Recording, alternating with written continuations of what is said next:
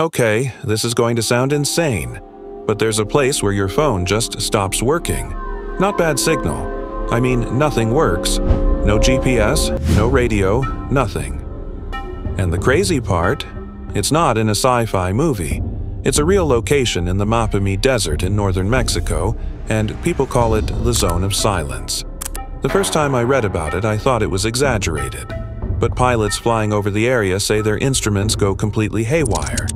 Researchers have walked in with brand new equipment, and it just dies. Like the entire place is swallowing electronic signals. Here's where things get even stranger.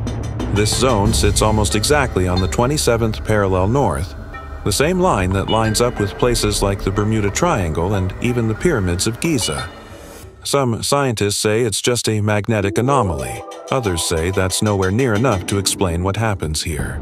Back in 1970, an American missile that was supposed to land hundreds of miles away suddenly changed course and crashed right inside this zone. When teams went to investigate, their instruments refused to work too. Locals swear they see strange lights moving across the desert at night. And meteorites fall here more often than almost anywhere else, some with metals that don't match the region's geology at all. So, what's causing it?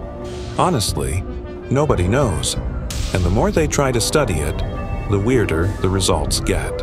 It's one of those places that makes you realize how much we still don't understand about our own planet.